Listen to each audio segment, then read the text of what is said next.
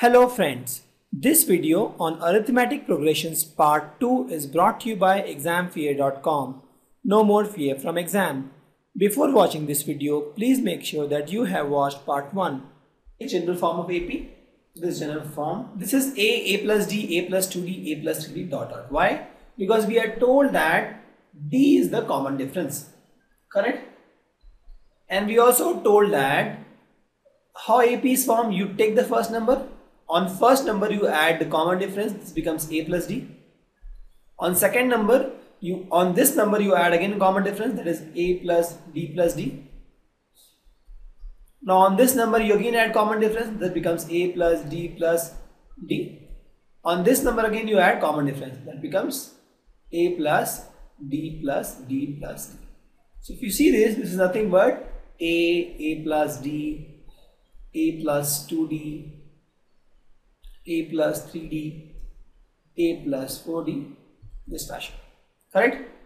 If you see this, this is nothing but a, a plus d, a plus 2d, a plus 3d, a plus 4d form. This is a general form of AP. Please remember this. Whenever you are asked to write a JP, AP, in most of the questions will assume the AP to be a, a plus d, a plus 2d, a plus 3d, that form. So this is the general form of AP. By definition also, on every term you add a common difference. So here also on A we have added D, this becomes A plus D. Now on this term we add again D, this becomes this term. On this term again we added D, this becomes A plus D plus D plus D. Again on this term we added D, this becomes A plus 4. Now let's talk about finite and infinite AP. AP which has a last term is called finite AP and AP which does not have a last term is called infinite AP. For example, if I'm talking about the AP, let's suppose 3 common differences, let's suppose 5, 2. 3 plus 2, 5, 5 plus 2, 7, 7 plus 2, 9, 9 plus 2, 11, 11 plus 2, 13. And 13 is the last number, let's say. So in this case, we know there are finite number of elements in the AP and this has a last term. This is called finite. An AP that does not have finite last term is called infinite AP. For example, let's take one AP where the first term is, let's suppose 4 and the common difference is 3. The next term will be 4 plus 3, right? And the next term will be 4 plus 3 plus 3, correct? And again the next term will be 4 plus 3 plus 3 plus 3. I'm just adding 3 in the previous terms, right? So this term will be this. This is the infinite AP, there is no end. So it is having dots in the end.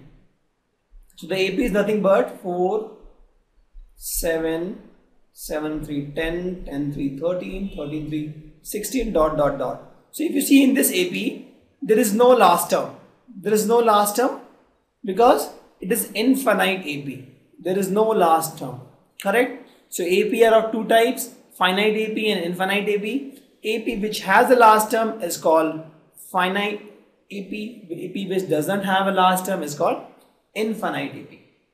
For example, if you see in real life scenario also, let's suppose the same girl, uh, Geeta. Geeta is putting money in the piggy bank, right? Let's suppose it's the piggy bank and she's putting money in the piggy bank. Now, if she is telling that she will put money only for one month, right? If she is putting money only for one month, so in that case it is a finite AP because if you see the series it will be 10 20 30 it will somewhere stop after one month. One month it may be let's suppose 300 it will somewhere stop after one month. So this will be a finite AP but the same Geeta if she tells that I'll continue doing it till my lifelong right? Then there is no end. The money will keep growing. So in that case that will be infinite correct Finite AP is the one which has an endpoint, which has a last term. Infinite AP is the one which doesn't have a last term. Let's take some scenario and tell us which whether this is AP or not. Now the question says that the taxi fare after each kilometer, when the fare is 15 rupees for the first kilometer and 8 rupees for the additional kilometer. So for the first kilometer, this guy is charging 15, 15 rupees and for the next kilometers 8 rupees per kilometer. So let's find out. First kilometer is nothing but 15 rupees right? And first and second kilometer if you add or you can say that don't do like if I'm hiring for one kilometer I have to pay 15 rupees. Why? Because the taxi says 15 rupees for the first kilometer. If I'm hiring for 2 kilometer how much I have to pay 15 plus 8 15 for the first kilometer and 8 for the second kilometer. Correct? If I'm hiring for 3 kilometer how much I have to pay? 15 for the first kilometer and 2 into 8 for the next 2 kilometers. Because for additional each kilometer he is charging 8 rupees. If I'm hiring for 4 kilometers I have to pay 15 rupees for first kilometer and 3 into 8 for next 3 kilometers if I'm hiring for 5 kilometers I have to pay 15 rupees for the first kilometers and 4 into 8 for the next kilometers Similarly, if I'm hiring for 6 kilometer, I have to pay 15 for the first kilometer and 5 rupees per kilometer for the next kilometers. Similarly, for 7 kilometer, I have to pay 15 for the first kilometer and 6 rupees for the next kilometer. So if you see this, this is nothing but 15, this is nothing but 15, 8, 23, this is nothing but 16 plus 15 that is 31 this is nothing but 31 8 39 this is nothing but 47 this is nothing but 55 this is nothing but 62 right?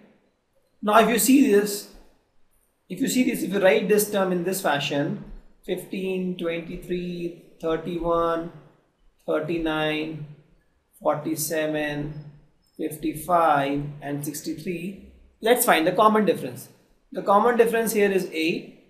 32 minus, sorry, this is 31. 31 minus 23 is also 8. 39 minus 31 is also 8. 47 minus 39 is also 8. 55 minus 47 is also 8. And 63 minus 50 is also 8. If you see here, the common difference is constant. Thus, I can say that this is an AP. Very simple what we have done. For 1 kilometer, for 2 kilometer, 3, 4, 5, 6, 7 kilometers, I found the total cost that I have to pay and I have arranged this. So then I found that this is an AP because the common difference is constant. Let's take one more scenario. Thank you. Visit examfear.com to watch free educational videos, try free online tests, get the best quality study materials, study from the best tutors and mentors, and much more. Thanks once again.